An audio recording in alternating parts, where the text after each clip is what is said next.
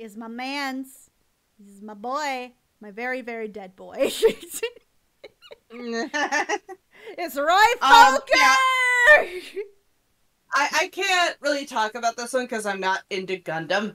So, Well, he's not a, Gum- a Gundam. He's a Robotech. oh, he's not No, a Gundam. no, he's in Robotech. Okay, yeah, I have not watched any Robotech either. I, yeah, I have not watched any Robotech either.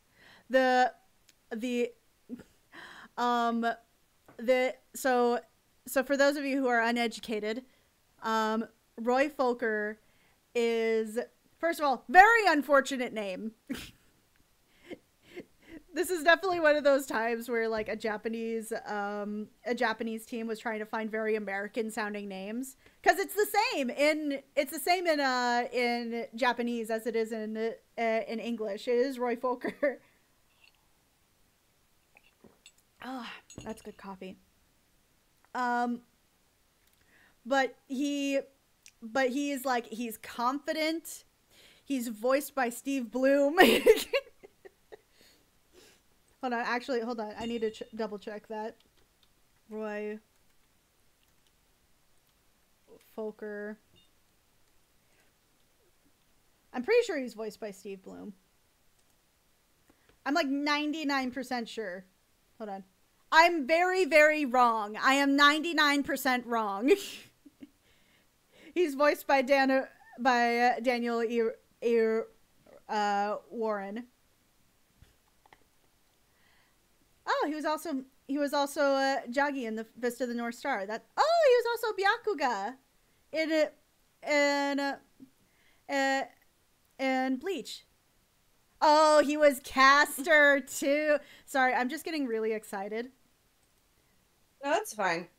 Um, but yeah, look at this man. He oozes confidence, swag. He he is he is fine. He's also oh so very dead. he is very very dead. His girlfriend Claudia is very upset, and so am I as his wife. By the way, they make the cutest fucking couple. Look at them. They're so Mhm. fucking cute. The, also, this was my first uh this was my first interracial couple, okay. which I found very fun.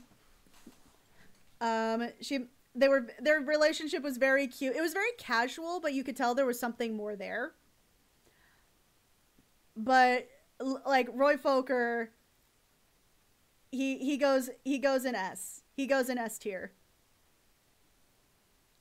He he is my man's. He is my man's. Yeah. I, I I just I I just have not watched a lot of Robotech or like any sort of like mecha anime. You would love it. I don't love mecha. Like mecha is not Mhm. my genre. I Yeah. love Robotech, Like- and part of that is probably because my dad, my dad, it was my first anime that I watched. Yeah. Um, Um. Yeah. Watchwell has been trying to like get me into Gundam.